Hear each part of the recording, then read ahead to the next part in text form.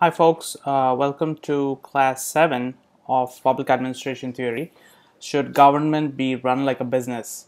Now uh, in this session we will uh, cover some of the key ideas that uh, I introduced in last class which is essentially the idea of new public management way of thinking and uh, really appreciate this idea uh, since it is important but also critique it in the sense that really look at it from the perspective of uh, service to people. Now, does this take into consideration notions of uh, service to uh, the people who are involved, that is, citizens in a country, uh, and also look at how purely economic uh, valuation of uh, services through efficiency and accountability, how they can be limiting in many ways while they are important, uh, critics of new public management argue that it's uh, important to look at how purely reducing everything to money or reducing uh, all aspects of governance to uh, efficiency is not a terribly good idea. So we'll, we'll examine both perspectives and uh, the dominant mod model or perspective as you may be aware is the one of new public management which is to say that government has to be run like a business and in the current administration we're seeing more and more of that. But this is not uh, in any way a new development. This has been going on since the 1980s so this is what we're seeing today is just one of the extremes of that particular way of thinking. So uh, as again as i've probably said earlier uh, the real felt need for this uh, way of thinking is that a government has become very bloated it has become very large in the sense that spending has uh, gone out of hand. And uh, this has coincided with uh, a push for greater effectiveness and also a demand for better management of government services and government uh, way of doing things which is fair to a large extent. You know there are aspects of certain programs and services which are which can be uh, streamlined and made better However, the logics that are used to justify this uh, can can be looked at from various perspectives. And uh, as again many scholars have pointed out, uh, this move has come about um, you know really since 1920s or 1930s you could say. So move from a very industrial age to an information age, and uh, also it reached a peak you could say starting around Reagan onwards, 1980s and onwards, uh, with the rise of what I described earlier as the Chicago School of uh, Economists, Milton Friedman, and people who really push for uh, free market ideas and uh, classical liberalism really taking hold uh, in the dominant in, and becoming really the dominant way of thinking uh, among policymakers. And this has led to, as we have said and discussed earlier, a reduction in the welfare state and increased privatization and devolution of services from the state to uh, you know private contractors and even to communities in some sense. So I'd like you to watch this uh, video, uh, an interview with David Osborne, who is really one of the seminal thinkers in this area, and his book Reinventing Government really is in a way considered almost a bible of people who want to talk about uh, reducing uh, the role of government in, in the public sphere. So pause this video for a second and watch this interview uh, with Osborne and then you can get back to this particular PowerPoint and my video.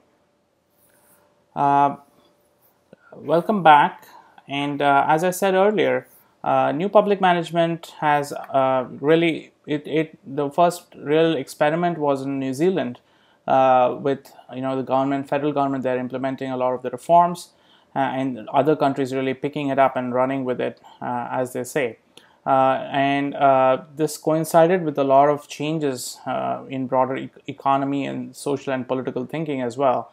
And the next video uh, by Kelsey, which is actually a reading of Joseph Nye's uh, uh, arguments of, of, the ushering of the information technology age, is, is actually put things in a certain context and helps you understand how globalization, marketization, and the information revolution have really contributed to this this but important uh, shift in in the way we think about government and its role in our society.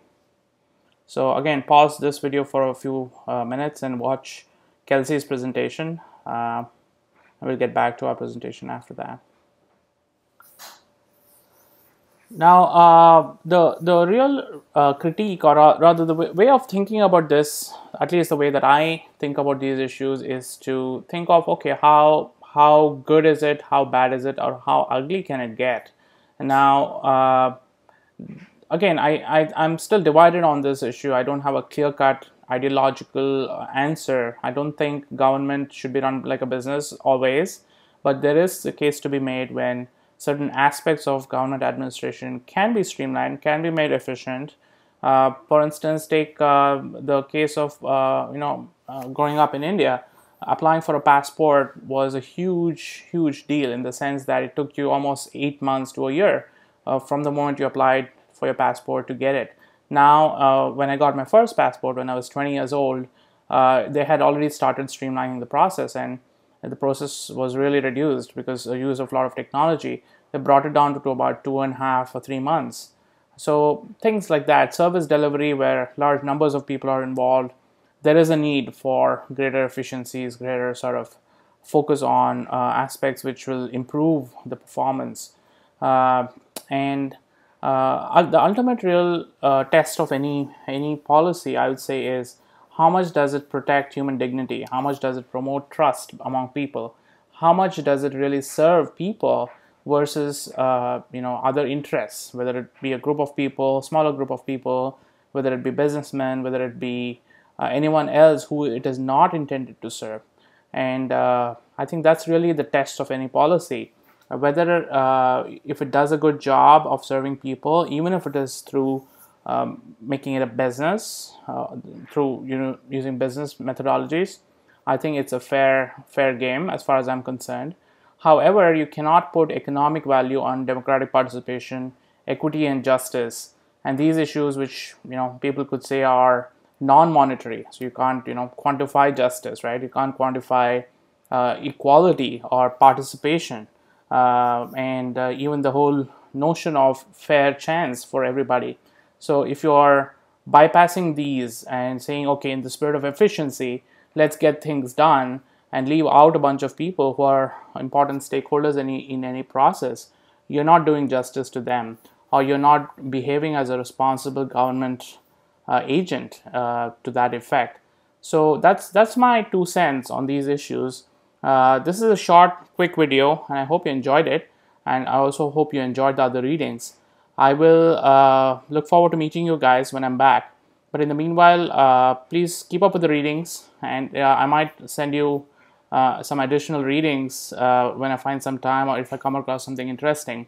But uh, as long as you've covered the required readings and if you have the interest and inclination to also look at the recommended ones, I think uh, you'll be good to go. I have some basically some additional resources here for you. Uh, so enjoy your your time and hope to see you all soon. Thank you.